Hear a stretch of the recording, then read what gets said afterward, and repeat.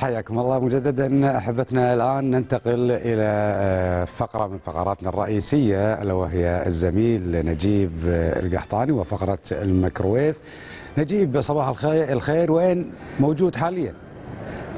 صباح الخير عبد المحسن صباح الخير. منيا صباح الخير مشاهدين تلفزيون دولة الكويت ما إحنا عودناكم دائما في لقاءاتنا وجولاتنا في أماكن كثيرة. مثل ما تفضل زميل عبد المحسن إحنا اليوم موجودين في أحد المشاريع اللي تقوم فيها وزارة الأشغال وهو مشروع طريق الجهراء من أهم المخططات والخطة الاستراتيجية التي يعني وضعتها وزارة الأشغال لتطوير شبكة الطرق في الكويت. ويبدأ هذا المشروع من آه، طريق الجانب الغربي من بدءا من بوابة الجهراء ودوار الجهرة وينتهي بعد في هذا المشروع إلى دوار الأمم المتحدة بطول 18 كيلومتر من الجسور ثمان جسور آه، على كيلو على 8 كيلومتر وبالأخص وفي كذلك أن طرق علوية وأنفاق ونفق موجود في هذا الجسر. لكن إحنا ودنا نتكلم أكثر وأكثر عن هذا المشروع معنا المهندسة سارة ملك مهندس هذا المشروع ومن البنات الشباب الكويتيات اللي ما شاء الله عليهم يعطيهم العافية في هالمشاريع. مهندسة أول شيء صباح الله بالخير ويعطيك العافية وإحنا دائما مع المهندسين الكويتيين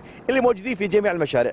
نبي نبذة تعريفية عن مشروع طريق الجهراء بالنسبة حق مشروع تطوير طريق الجهرة آه، يبدي مشروع تطوير طريق الجهرة من آه، بوابة آه، الجهرة مثل ما تفضلت وينتهي في دوار الأمم المتحدة. قيمة هذا المشروع أنه يعتبر من أهم الخطط الاستراتيجية اللي حطتها وزارة الأشغال حق تطوير شبكة الطرق. كان أمر مباشرة العمل تم في تاريخ 13 سبتمبر 2010 وإن شاء الله متوقع أنه ينتهي بتاريخ المعدل بتاريخ 17 نوفمبر 2018 تكلفة هاي المشروع وايد عالية ب 264 مليون دينار كويتي. مثل ما تفضلت يتكون من جسور 18 كيلومتر من الجسور. لو نتكلم عنها بتفصيلية أكثر 8 كيلومتر اللي هي طريق الجهرة اللي هو الجسر الرئيسي. وعندنا ثلاث تقاطعات رئيسية واحدة منهم اللي هو تقاطع مستشفيات وجسر المطار وجسر الغزالي بطول آه، 2.4 كيلومتر. عندنا بعد منحدرات اللي هي الرامبات عندنا 8 كيلومتر من الرامبات. وعندنا عشر جسور للمشاة. وعندنا نفق مثل ما أنت تفضلت بطول 620 متر. هذا النفق آه، يقع بتقاطع الدائري الثاني. نعم. مهندس لو نتكلم عن الافتتاح الجزئي. إحنا الآن كاميرتنا قاعد تأخذ اللقطات. هذا الافتتاح الجزئي اللي هو من طريق المطار حتى ميناء الش... ميناء الشويخ. يعني هذا مجرد انك وأنت جاي من المطار باتجاه باتجاه ميناء الشويخ ما شاء الله عندك الحركة الإنسيابية سهلة. نتكلم عن افتتاح الجزئي هذا اللي قبل كم يوم فتحته؟ بالنسبة حق الافتتاح الجزئي إحنا. نت- نتكلم عن الافتتاح الجزئي يعتبر هذا الافتتاح الجزء السابع حق مشروع الجهرة. تم الافتتاح في يوم الأربعاء اللي فات بتاريخ 11 مايو. هذا الافتتاح كان مثل ما أنت قلت تفضلت آه، طريق جسر المطار اللي هو الواقع آه، مع تقاطع الجهرة اللي هو واقع بين كيفان والشويخ باتجاه جمال عبد الناصر. أما بن... كان حارتين.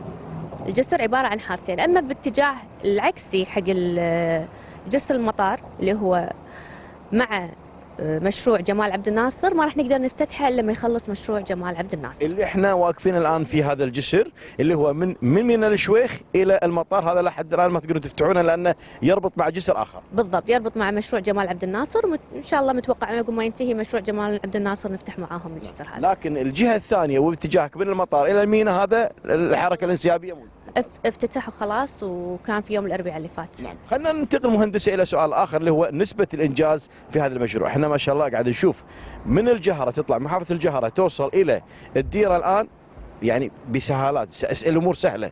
وكذلك إن الآن افتتاح هذا الجزء. في افتتاحات أخرى موجودة. لو نتكلم عن نسبة الإنجاز في هذا المشروع. لو نتكلم عن نسبة الإنجاز في هذا المشروع ما شاء الله يعني نسبة الإنجاز وايد مرتفع عندنا تخطط 93% ما شاء الله. زين. أما بالنسبة لأن صار عندنا افتتاحات جزئية وايد لأن إحنا قاعد نتكلم عن هاي افتتاح الجزء السابع فعندنا تقريبا 77% من الافتتاحات الجزئية اللي تمت في المشروع. عشان كذي المواطن قام يشوف انه صار في عنده حركة مرور أسهل لأن عندنا 77% من المشروع قاعد يستخدم حق المواطن. نقدر مهندس نعرف يعني هذا الجزء السابع لكن الست أجزاء اللي افتتحتوها الس- السابقة؟ أي. لو نتكلم مثلا عن الافتتاح الجزء الأول اللي صار صار آه، بيناير 2015 كان عبارة عن دوار الأمم المتحدة آه، وأيضا الرامبات اللي هي من الدائر الرا... من طريق الجهرة للدائر الرابع ومن الدائر الرابع لطريق الجهرة. هذا كان أول افتتاح جزئي حقنا. بالنسبة حق الافتتاح الجزء الثاني اللي هو كان في تاريخ أكتوبر 2015 اشتمل على دوار تقاطع الدائر الثاني مع طريق الجهرة. بالنسبة حق الافتتاح الجزء الثالث اللي هو كان في جسر الجهره الرئيسي. كان في تاريخ آه، يناير 2016 وكان آه، بطول 4 كيلو متر من غرناطة لمن أكاديمية سعد العبد الله هاي طبعا أكو بعد طرق سطحية هم تم افتتاحها. آه، الافتتاح الحين نتكلم عن الافتتاح الرابع كان بتاريخ يوليو 2016 اشتمل على الجسر الواصل بين طريق الجهرة وطريق المستشفيات باتجاه جمال عبد الناصر. وعندنا افتتاح الجزء الخامس كان في نوفمبر 2016 اللي هو اشتمل على هم نفس الشيء اللي هو طريق الرئيسي مال الجهرة جسر رئيسي اللي هو كان من أكاديمية سعد العبد الله حتى نهاية الجسر بطول 5 كيلومتر بالإضافة حق المنحدرات اللي هي الرامبات صعود ونزول. يعني كان الافتتاح الجزء الخامس نقدر نقول كان أهم افتتاح. زين بالنسبة حق افتتاح الجزء السابع كان في ديسمبر 2016 صاد سادس سوري. في 2016 اشتمل على الجسر الواصل بين طريق المستشفيات وجسر الجهرة في اتجاه الجهرة. واليوم إحنا معاكم مع افتتاح الجزء السابع. نعم مهندس إحنا ودنا يعني نسبق الحدث إن خلينا نقول حق المشاهد الكريم اللي من سكان منطقة الشامية وكيفان والشويخ المناطق الغريبة إن إن شاء الله خلال يعني خلينا نقول الشهر القادم أو الفترة القادمة إن شاء الله راح يفتتح نفق. وهذا النفق راح يسهل حركة المرور أكثر وأكثر. ودنا نعرف بس المشاهد الكريم وين موقع هذا النفق. موقع هذا النفق آه، مثل ما إحنا قايلين اللي هو الدائري الثاني. آه، هذا النفق طوله 620 متر. تقريبا خلصنا نسبة الأعمال اللي خلصت فيه 97% يعني نقدر نقول تقريبا نفق شبه خالص.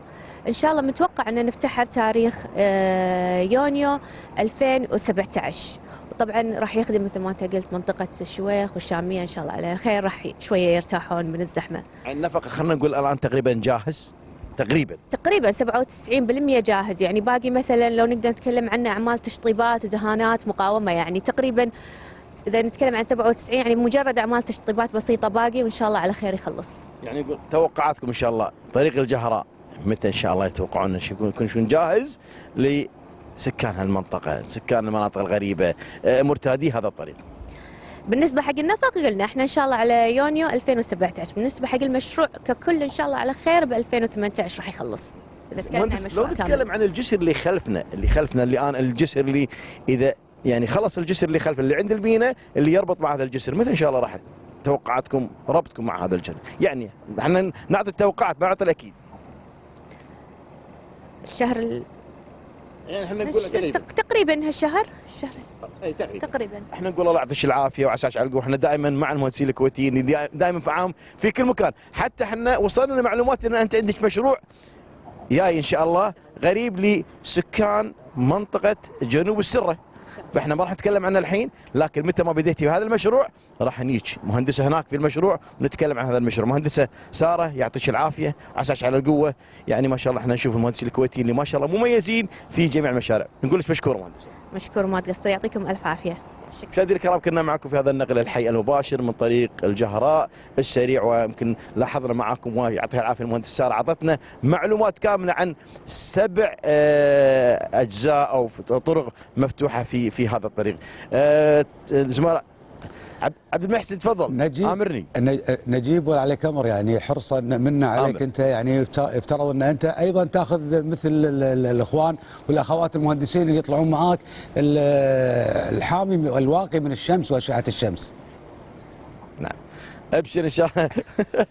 وتحيات شاء الله وتحيات نحاول- لفريق العمل اللي عندك نخلي مخرجنا ورئيس فريق العمل يوفرون لنا الشغله هذه يا عبد حياك يعطيك الله العافية. عساك. على القوة. راح نرجع إلى زملائنا في الاستوديو لتكمله الفقرات الحلوة والمتميزة لأسرة وبرنامج صباح الخير. لكم الهوى تفضلوا.